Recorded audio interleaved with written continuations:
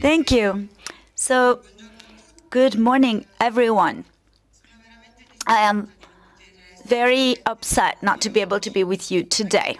Also, because, you know, moments of presence are so precious at this time. So, I'm so sorry to have to do a remote connection, but unfortunately, I had a small accident to my eye, and that's why I have to wear dark glasses, and I couldn't travel. I'm so sorry I couldn't come to Venice.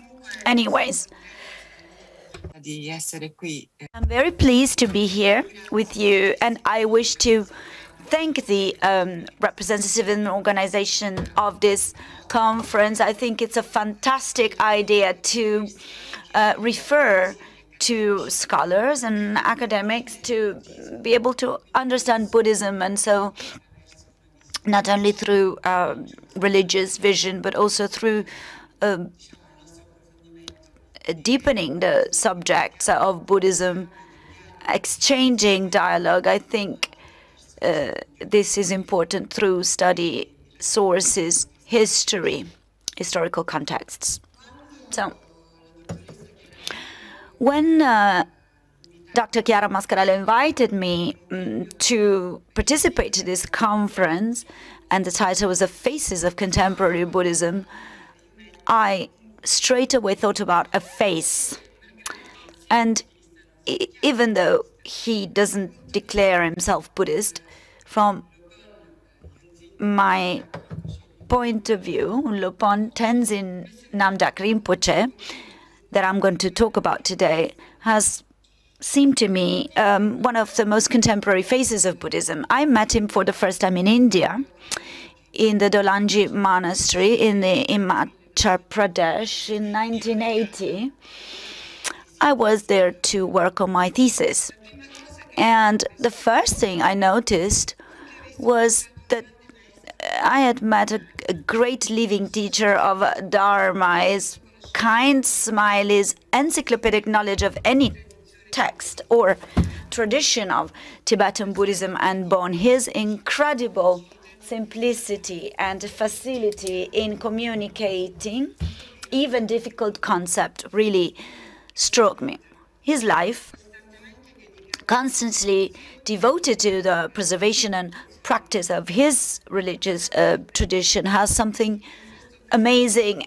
And in my contributions, I'm going to try and outline his life the life of uh, Tenzin Rinpoche from his birth, 1926, in the Khyungpo region of the uh, eastern Tibet, to his studies and uh, retreats in Tibet, his tragic escape from uh, Tibet into exile in 1960, his life in diaspora, first in Oxford and India, Nepal, where he currently lives in the Bonpo uh, monastery founded in 1986 in Kathmandu. So it will probably be necessary to give you a short introduction to the Bon tradition. As Professor Donatella Rossi already did an introduction, but I think as Bon is not so well known, I would like to give you and reiterate a short introduction. Maybe I will repeat something that has been said, and possibly from a different point of view. I think it could be useful. So, Bon is one of the religious schools of Tibet and has been uh, considered for centuries a fake doctrine from the Orthodox Tibetan tradition, and it was marginalized up to recent times. I think that fundamentally, starting from the great work uh, of uh, Yongdzin Tenzin Namdak, and also thanks to the non-sectary vision of the Dalai Lama, recently Bon found, both in Tibet and in the West, its place in the uh, Tibetan religious school and has given its contribution to the knowledge of the um, spiritual heritage of Tibet and its potential for a fertile dialogue with the West. But before giving you a picture of this important Lama, I would like to tell you something about Bon. it's the autochthon religion of Tibet. So it is a heterodox form of Buddhism, following uh, the words of one of the first scholars who dealt with Bon, who in 1961 invited Yongdzin Rinpoche to Oxford and studied with him one of the most important texts of the translation. Bon is the true religion. Snellgrove says in his text, in the translation, The Nine Ways of Bon, uh, it is the one all embracing.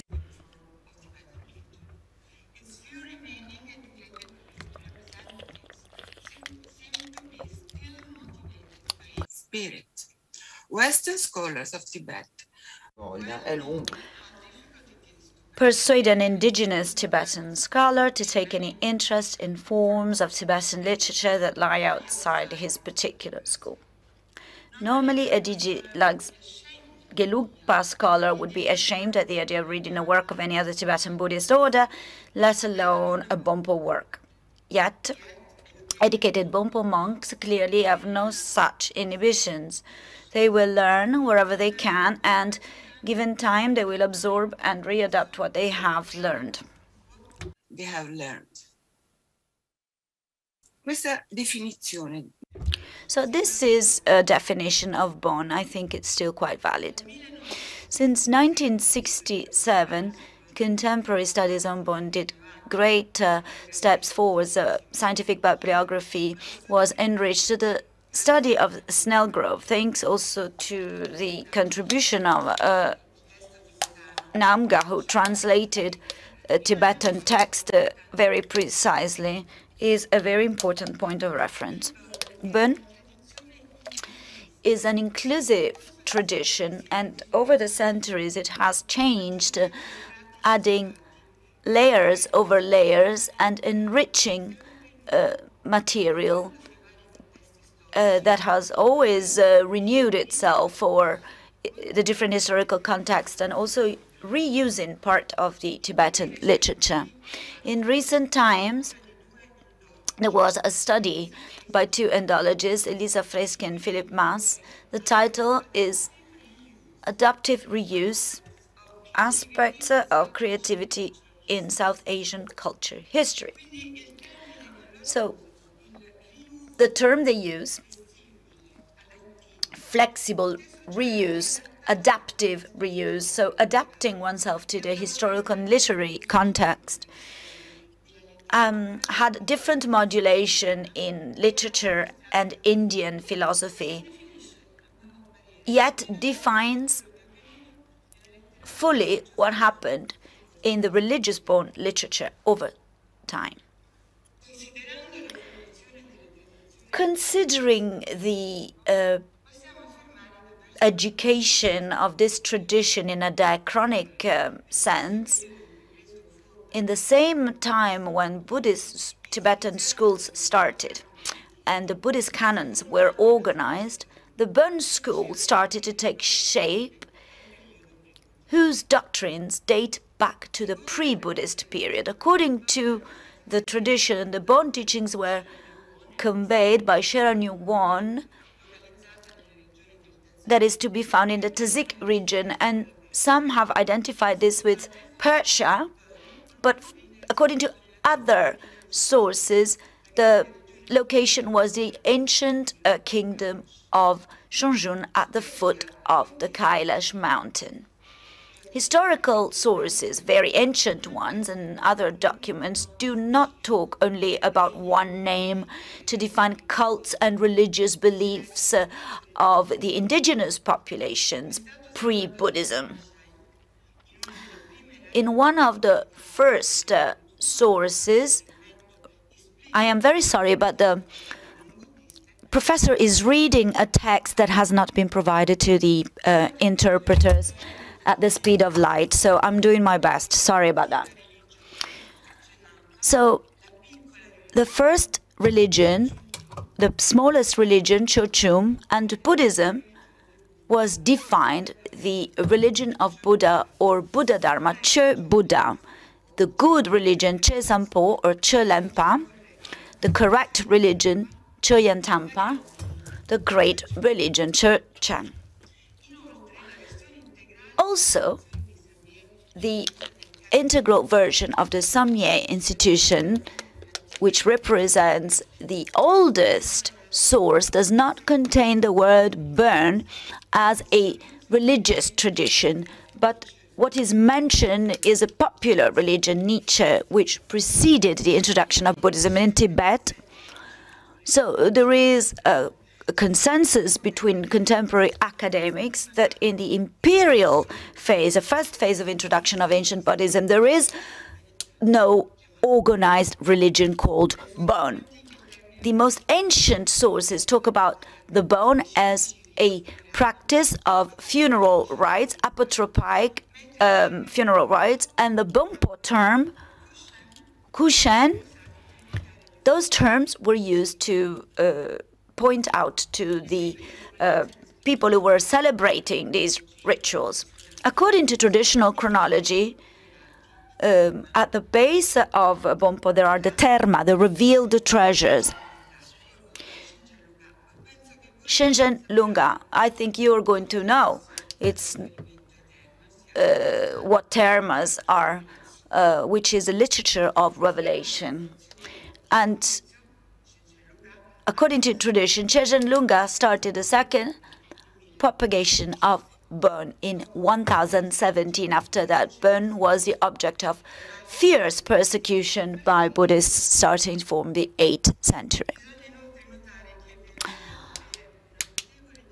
There is a difference between the Buddhist idea and the Bon idea of Terma, or revealed treasure. In the ancient Buddhist tradition, Yubum, i tantra e gli insegnamenti segreti erano stati Tantra and secret teachings um, had been hidden by Padmasambhava and other um, important religious um, characters because the times were not mature, according to them. According to tradition, the scriptures uh, were hidden mm, to subtract them to the destruction by the persecutors of Bon.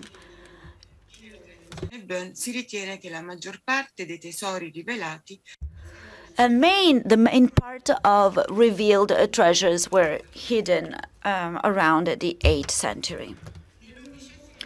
In the 11th century, the period of a second uh, propagation of uh, Buddhist uh, um, doctrines, Bon emerges as one of the schools and organized religions, and the Terma were rediscovered and started shaping the first nucleus of the Bon canon.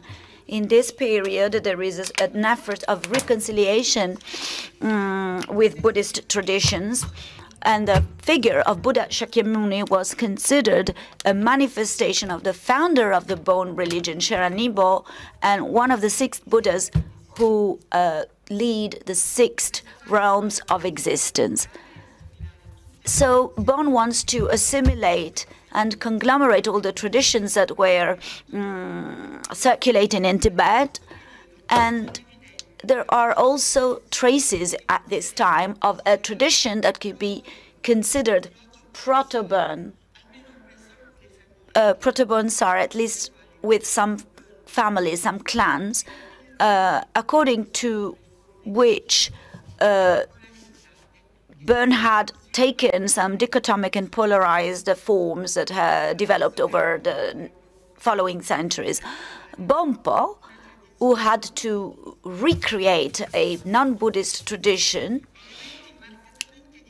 uh, with elements that were very different from uh, the Buddhist tradition that are recognizable as original, primordial, and indigenous, were incorporated together with other elements uh, of Central Asian or Chinese origin. The combination of these factors brought to the creation of a literary corpus that is extremely fascinating, uh, rich in elements, mm, of different origin, endogen and exogen, with an internal and poetic consistency. This Bön literature, even though it developed at the margins of mainstream schools, had a very important role in the religious history and intellectual and literary history of Tibet. According to the Bön,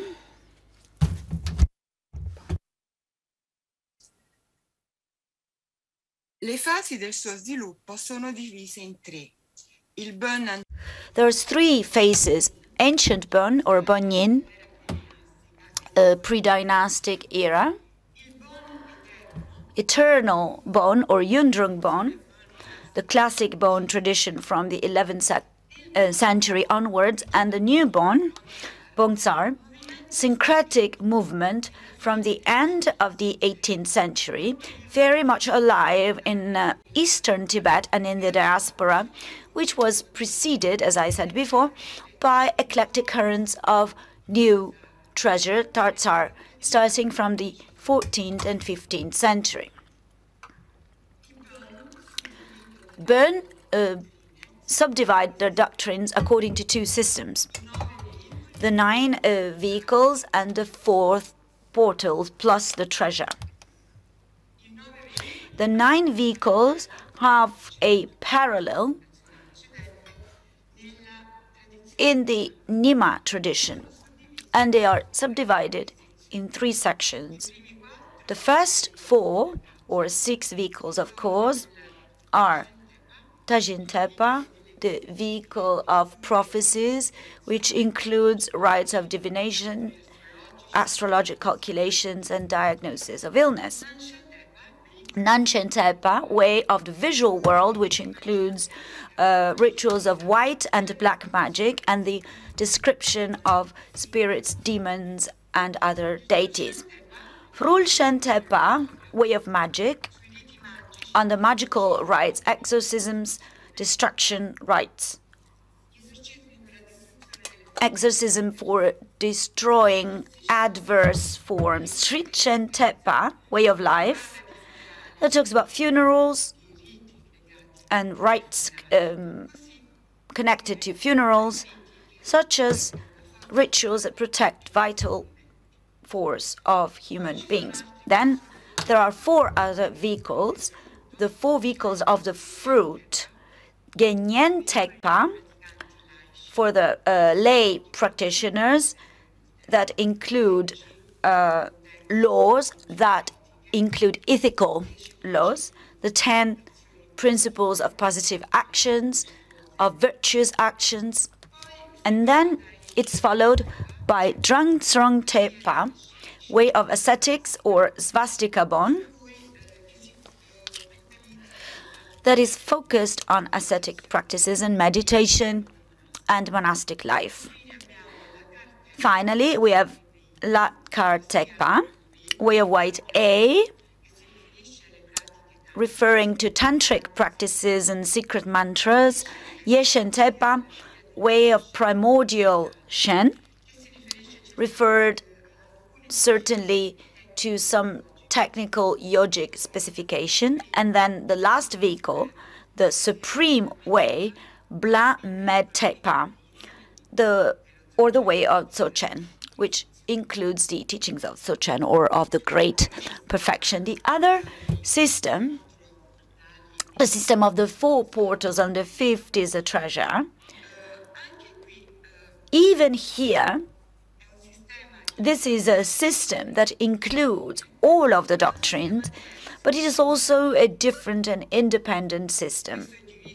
This is divided in the portal of the white waters containing fierce mantras that uh, deal with tantric and esoteric practices, especially practices connected with fierce deities, wrathful deities, and then the uh, portal of the Black Waters, which uh, practices uh, divination, practices funerals, funeral rituals, magic, but also purification um, rituals.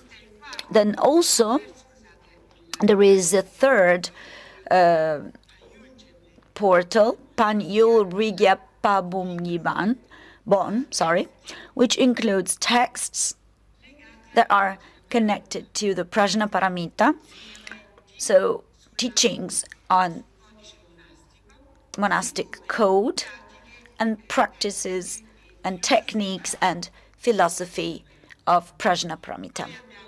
Then there is a Bon of the scriptures and the secret oral instructions of the masters, the teachers of Ponce, where um, you will find Dzogchen teachings.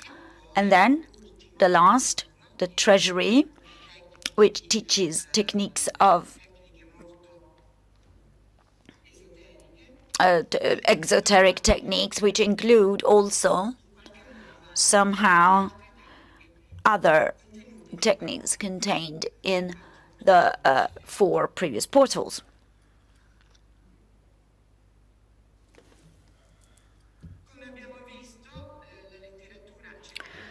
So, as we have observed in the Dzogchen literature, there is also the uh, last vehicle, the last teaching, which is subdivided in three different ways of transmission.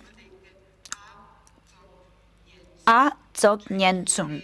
So the, the, the three teachings, the uh, teachings of the letter A, which is a current tradition of texts of Dzogchen, of the letter A, um, Dzogchen itself, and then the teachings of Log Chanjun which is the oral transmission of Chanjun.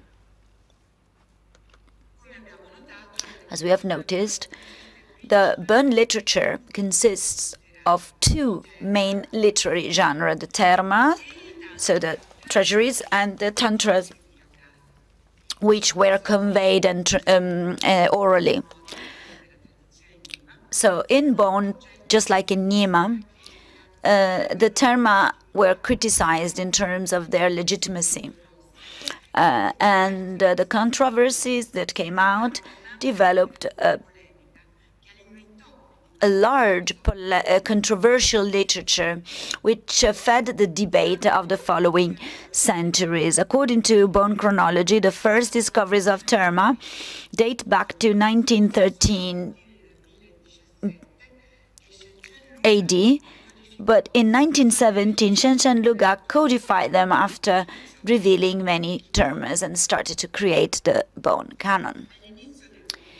At the beginning of the 15th century, Bonpo had already written many tantric scriptures in the Terma tradition and the oral tradition of Nyinggyur, and the scriptures were included in the first Bon canons. The first version of the canon dates back to about uh, 1450, and the first drafting of a catalogue of the Bon canon was prepared in the first half of the 18th century by Kung Tro Japa, who was born in 1700. So this important Bonpo teacher was the mentor of the king of the Rabten kingdom who started preparing the lineage for the uh, printing the canon, but uh, most of them were burned by the opposition to the Bon tradition. But these um, molds were um, cut and were sent to central Tibet so that they could be printed. And many other traditions, many other manuscripts were found in Dihor and Kyungpo monasteries. Two great uh, Western travelers did report to have seen manuscripts of the Bon Canon during their journey in Tibet. The first one was the American scholar Rock, who said he had seen in 1922 a copy of the Bon Canon in the uh, monastery of the district of Tsoso in the uh, southeastern Tibet, and a Russian in uh, 1928 found a manuscript in 140 volumes in the monastery of Sharogan in northwestern Tibet. In 1965, the catalogue of Bon canon was published in India, drafted by the 22nd abbot of the Inenji monastery, Nyima Tenzin, born in 1913, had been brought by the a Bon monk uh, during his escape in Tibet in 1959. According to this catalogue, which was drafted by Kundrol Drakpa, the scriptures of Bonpo Kangyu are subdivided in four categories. The Do, the sutras, 46 volumes, including text on monastic discipline, cosmology, hagiographic literature, for example, the the medium and long uh, biography of Shenrab Miwo and prayers, the Boom section in 19 volumes, the 1,000 the 100,000 chants or 100,000 chests, uh, text, sorry, that corresponds to the Buddhist literature of Prajnaparamita. Then the Gyud section, the Tantras in 40 volumes, that includes the uh, largest part of Tantras of the Bon tradition. And then Sem, or Treasury, in five volumes, the section including teachings of the Dzogchen.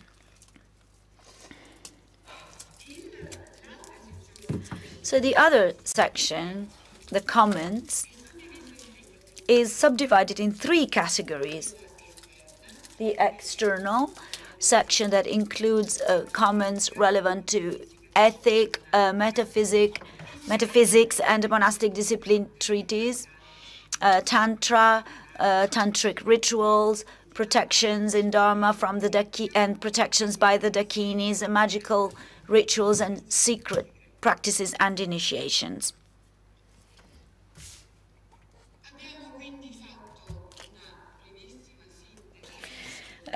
We've uh, we've done like a short synthesis to give you an idea of the Bonpo literature, and now we're gonna get to the life of Yongdzin Tenzin Namdak who was born in 1925 in Kham in eastern Tibet in the region of Kyungpo. In this area, this is a, a picture of the birthplace of this Lama. And the first years of his life were characterized by extreme poverty. The father um, was ill with um, leprosy and uh, it was an incurable illness in Tibet and had to abandon his family. The family obviously went to misery. The parents of the mother, who were very rich, called the daughter to her um, home because, according to the Tibetan tradition, if the family is divided, the female children have to go with the mother, but the um, male children have to stay with the father. So Yongdzin Rinpoche was abandoned in the family where the father died, which was a really poor family, and no one could take care of him. So the um, you know the, the, the subsistence was with uh, being a shepherd. So he had to be a shepherd, completely abandoned. He, and when he was nine, he had to go back and be a shepherd for the family. In his biography, uh, there is a touching episode when, at nine years of age, uh, dirty, malnourished, and uh, met his mother, who was crying to see him like that. And after this meeting and other sad moments, uh, uh, and we are in the 1930s, um, and also the uh, conflicts with Chinese um, um, army and the uh, central Tibetan government. He went to his mother family and started studying painting to become a tanka painter, apprenticeship which brought him to complete the uh, frescoes of the Nanjel temple in the monastery of Yungjung. in 1937, he started. This is a, a map of contemporary Tibet. I don't know if you can see it, but here there is a monastery of Khyungpo Chen in Kham.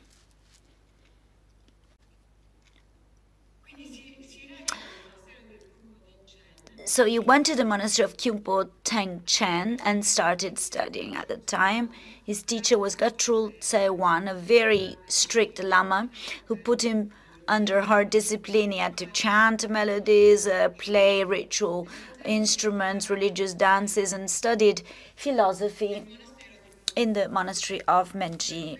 In that time, 1942 42, he helped his painter uh, uncle to paint frescoes in Yungdrungling Monastery, and in 42 started a long pilgrimage towards the sacred places of Bon, going in a very many um, sacred places in Nepal, all the way to the Kailash mountain, which is a sacred uh, mountain. For Bon as well.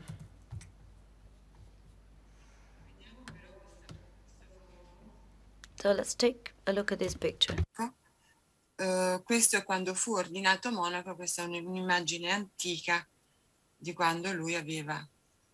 So this is an ancient image of when he was a bit older than 17. So he uh, undertook this long journey, went back to eastern Tibet and asked to become a disciple of a great Bonpo teacher, one of the most venerable teachers of the Bon uh, tradition, who was Ganru Tritsing Yangtsen, great Dzogchen practitioner, was living in a cave in the Gyerudo monastery. He had taught for 18 years in the monastery of Yungdrungling, but had decided to abandon the monastery, retreat uh, in a cave and devote himself to solitary retreat. And so wasn't accepting any disciples. So the story is a bit similar to the Milarepa story. Lopon Tenzin Namdak went to the teacher and started asking for teachings, but this teacher didn't want to give him the teachings. He had decided to never have any contacts with other human beings, with other disciples, but the devotion and determination of Yongdzin Rinpoche prevailed, and the teacher welcomed him as a disciple, but he had to paint for him. It taught him many things because he asked uh, to paint for other monasteries. And as Yongdzin was painting, he taught him grammar, Sanskrit, liturgy, but mainly the Dzogchen teachings. This master was in retreat. Um, he was in retreat in the darkness, just like the Dzogchen teachings uh, say. He had to spend long periods in the dark. But even though it was in the dark, during some hours of his retreat, he was devoting himself to teach to Lopon. I call him Lopon because this is the way he was called when I met him in Dolanji, the great teacher Yongdzin Rinpoche. So at this point, Yongdzin Rinpoche went on retreat and stayed in this um, cave for uh, nearly four years in retreat. After, after a long time, after these four years in the Langchen cave in Gerudo, these were very important here for his religious training, he started a long meditation and practice training and went after this period went back to the Menri monastery and became a geshe, studying with Lopon Sangye Tenzin, another teacher of great importance uh, in, the, um, in his spiritual um, and academic education. In 1952, at the age of 27, he became a geshe and became a teacher. He started a very intensive life of studies, practice, teaching. But one of the most important things of his activity is that he gathered texts of the Bon tradition that often were hidden um, in monasteries. They were underground. Uh, they had been uh, treated carelessly. So one of his main activities was precisely to have uh, gathered uh, and bringing to the West during the diaspora, so helping reprinting and circulating all these texts. The great literary Bon heritage. In 1957, conflict was open and the Chinese army had taken many monasteries, including Menri. So he decided to travel to be able to find some donation to keep his monastery alive and get more burned texts and went to the Bonpo Sajib monastery near the uh, Dangra sacred lake. This is a teacher of the Menri monastery, Lopon Sangye Tenzin, who followed him in the diaspora and also went to Dolanji, where he died in 1987. So he went to the Saiji monastery.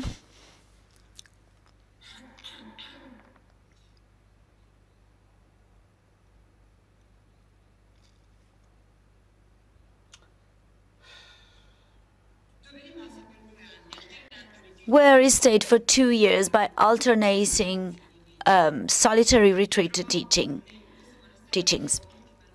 I found many ancient manuscripts with an important cosmology treaty, treaty written by Rabche Tsen and an ancient version of a Magyu um, text, the mother tantra of the Bon.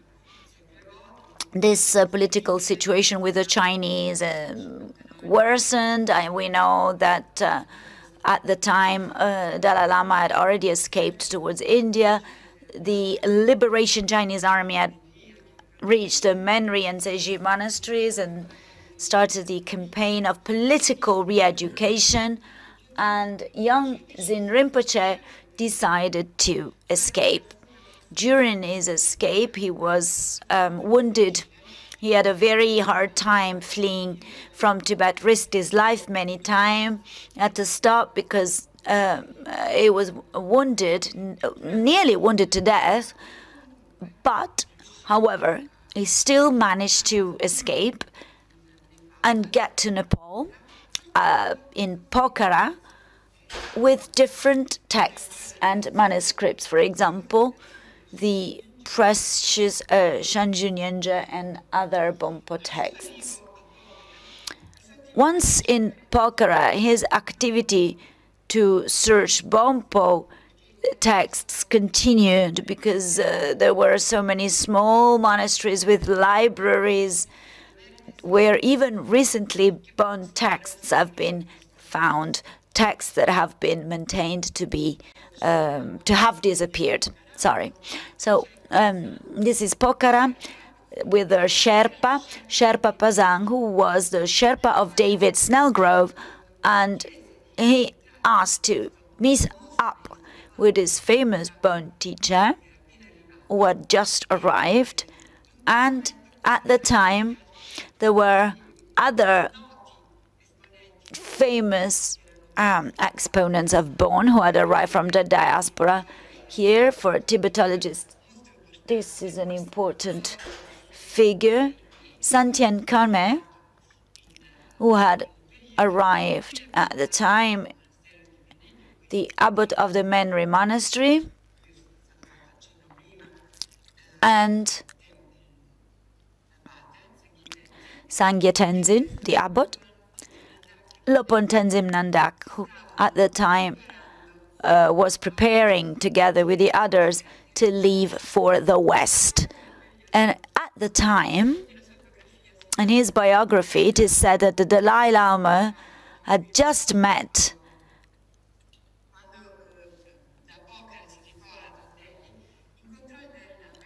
in Delhi, and he had not met with Yongdzin Rinpoche yet and said, please stop here, develop the Bon tradition, which is an important tradition for our culture. And you notice that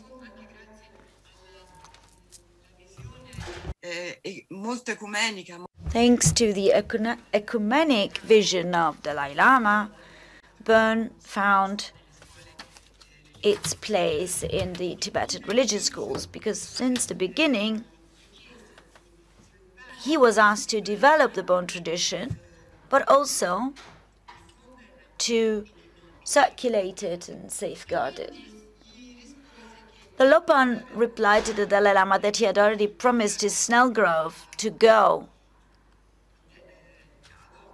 to Oxford, and so he decided to leave anyways. During his journey, as we said before, he worked extensively with Snellgrove. He learned English really well, very high standard of English, and even went to a Benedictine monastery because he was very curious to know uh, Christian monks. And so they were very important years for his education and his curiosity and his knowledge of the Western world.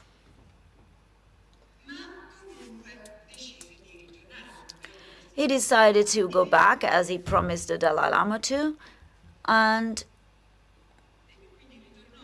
went back to 1964. From 1964 to 67, he tried to help the Bonpo of the diaspora to keep the Bon community alive in 67 with the financial assistance of the Catholic Relief Service. He bought uh, some land uh, in Dolanji near Solan in the Himachal Pradesh in northwestern India. This is a photo that shows that uh, he created a school for young people, young monks, young Bon monks. So a Bon monastery in which curriculum there is also the study of debate, philosophical uh, debate. Uh, this picture shows Lopon teaching debate to the monks, uh, the um, philosophic dialectics. And this has been something in Gelugpa and Sakyapa schools as well. So the education is very strict very strict academic uh, training on debate.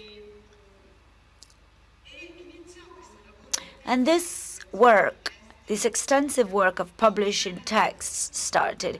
He published hundreds of texts in his life. The monastery became a center of teaching for the monks coming from Tibet and Nepal.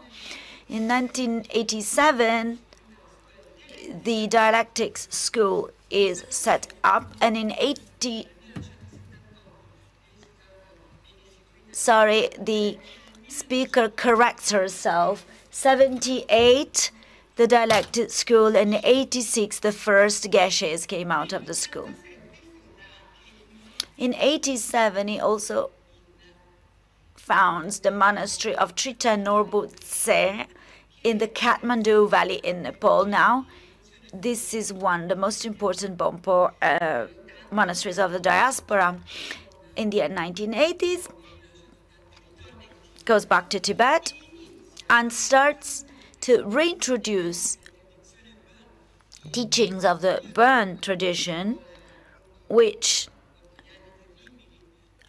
after the terrible years of the invasion and cultural revolution were abandoned. So in the 1980, there is a possibility to reintroduce in the teachings and the monasteries the teachings of the Bon translation. And he does this with a lot of, um, of zeal.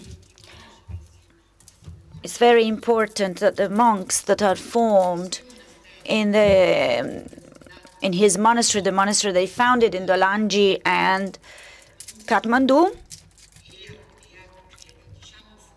and formed many monks that then went back to Tibet and started training other monks. So in Bonpo monasteries of Tibet. Politico. Nel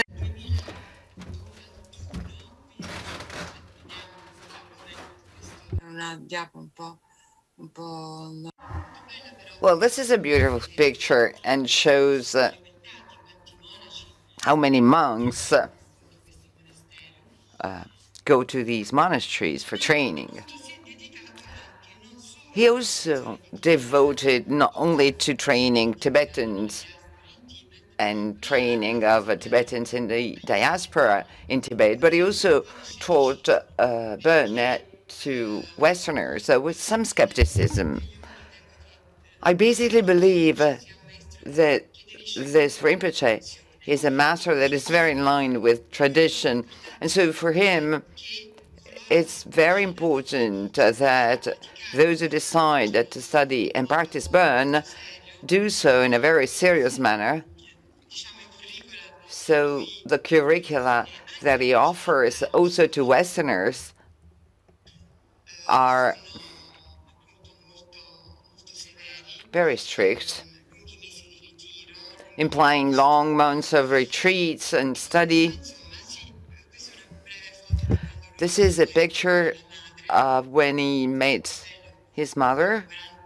After 45 years, he met his mother again once he went back to Tibet. So he founded schools in France and in the United States. So a lot of monasteries and many Bon teaching centers were set up. But what is really impressive is that this is considered to be a Tibetan Buddhism school in all respects with the support of the Dalai Lama. I took up a lot of uh, uh, time, sorry, more than the time allotted to me, so thank you for your patience.